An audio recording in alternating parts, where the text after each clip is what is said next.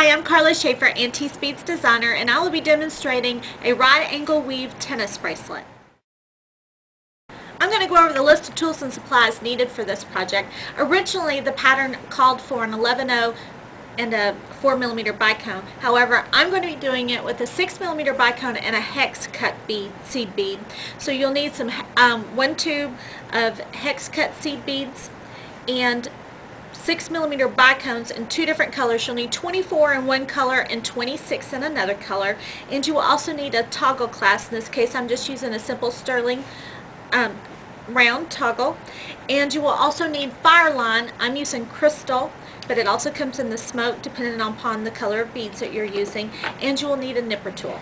You will also need a number 12 needle. The first thing you need to do is thread your needle with three yards of the Fireline and I do mean three yards of it because this is one of those projects where you really cannot tie in. So you're going to need to have a three yard length of Fireline and and thread your needle with that. And then the first thing we're going to do is we're going to thread eight of the hex seed beads onto our thread.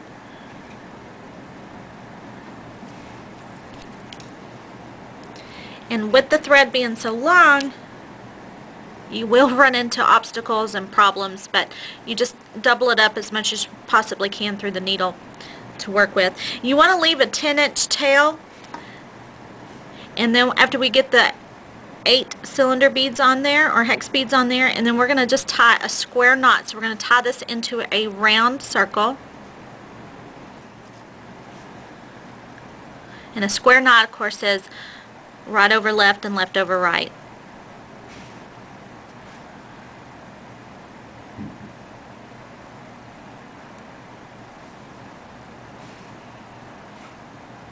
now that I've got my circle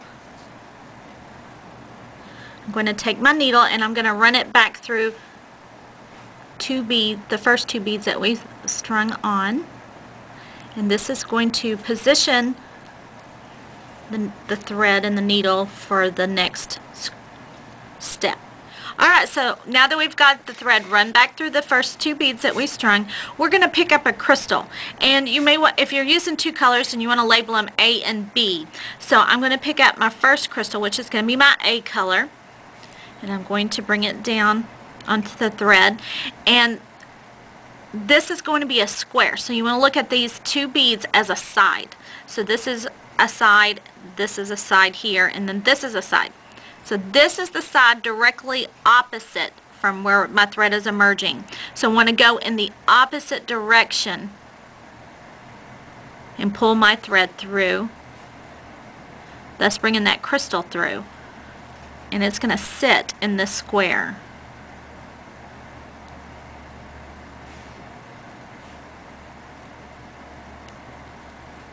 I'm going to tighten it up a little bit. Now you can see how this how it sits right there in the square. And throughout the bracelet, when we're adding our crystals, we want them to all go in the same direction, and you'll see that as I go on to the next step. Okay, what I've done, what I'm, what I have done now is I picked up six more of the hex bead, and we're going to add our next square. And so we're emerging from this thread, from this bead here. So all I'm going to do is I've got my six threaded. All I'm going to do is bring my needle the opposite direction of that. And we're again, we're working on sides here. So we pass through two beads.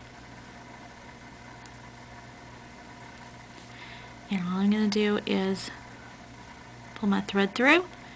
And we're going to and we only thread six because we're using two beads from this last side, which equals our eight for the square. So again, we have created yet another square. Okay, again, I what I've done here is I went through all of this, this whole circle again to reinforce the circle with my thread. And now all we're going to do is from this point, we're going to pick up another A crystal. And again, work this aside. So this is, this is a side, this is a side, this is the opposite side of this one. So I want to run my thread, rather my needle, through these two bottom seed beads and bring my crystal up to the square. And again, as you can see, the crystals are sitting diagonally to each other. So they're going in the right direction.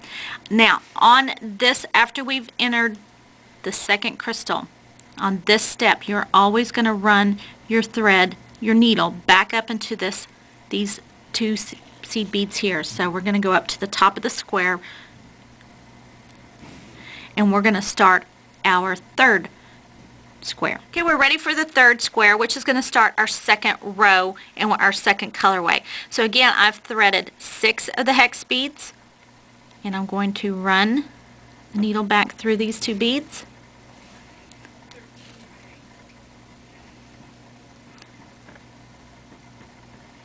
so that we formed our next square. As I said earlier, we want all of our bicones to line up the same. So if I was to add my crystal here, it wouldn't it wouldn't follow the same pattern. So what we're going to do now is we're going to run our thread through these two,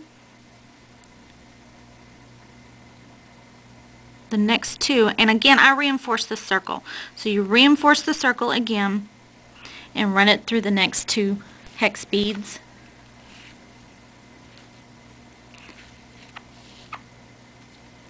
And of course working with this much thread you do get knots and gnarls and tangles and you just need to pull them through. And if you get a knot, you just need to work it out. Actually, I'm hung on my crystal here.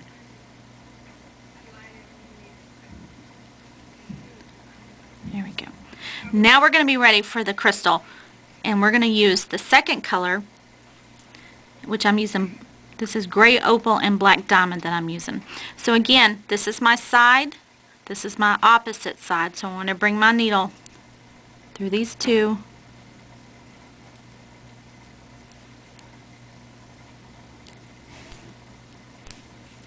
And we're just going to alternate colors A and B for every two squares.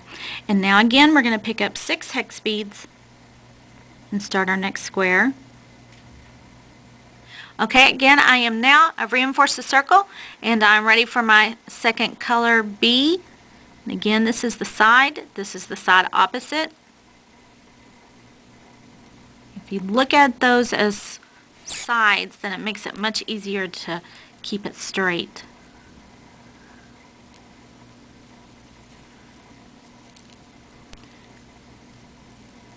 And again, as I said earlier, every time you do this bottom, the, your second color, or your second bead in your color, then you want to run up through those next two beads above so that we are prepped and ready for the next row. Okay, I've reinforced the circle and I need to come up through these top two here so that my bicone will be going in the right direction.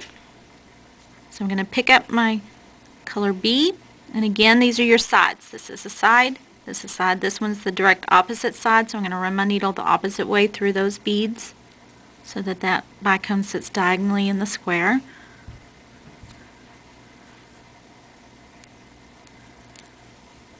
And again, I'm going to start this second part square of this third row and then basically the rest of the bracelet is this is what you do until you get to the desired length. So again I'm going to add six more hex beads to this bottom to form our next square. And keep your tension tight. Reinforce your circle. Okay and I'll be ready for the next the last crystal on this row.